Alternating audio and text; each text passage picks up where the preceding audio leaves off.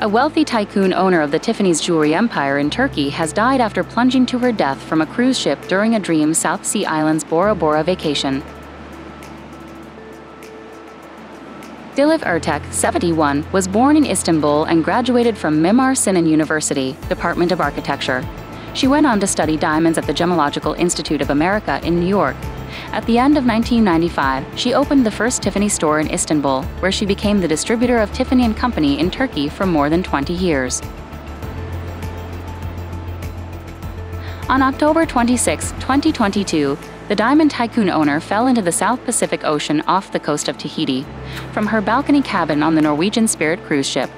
Her family has urged police to investigate her Swiss national lover, who was with her on this trip. Ertek's son, Gökçe Atuk, says jewelry had gone missing from the safe in his mom's cabin. Norwegian Cruise Line security camera footage shows Dilek fell at 3 o'clock in the morning.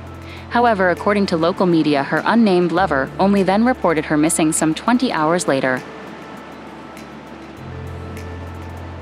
Experts seem baffled over how Ertek, who was just 5'2, was able to fall over the high balcony guard rail in her cabin.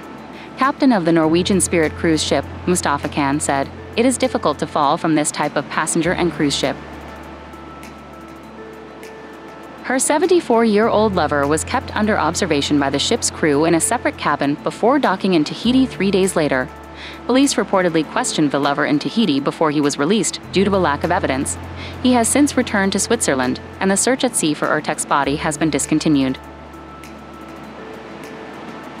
Turkish media report that there are also issues with the investigation. It's claimed that Tahitian authorities did not search Ertek's room properly and feel they only went through the motions as the death happened outside their jurisdiction. Attorneys for Ertek have reportedly argued that the investigation is Tahiti's responsibility, as it was the closest country when the incident at sea happened. Her attorneys are also reportedly preparing to file a lawsuit against the owner of the ship, Norwegian Cruise Line Holdings. Thanks for watching Sailors 365. Subscribe today and stay up to date with the latest breaking news.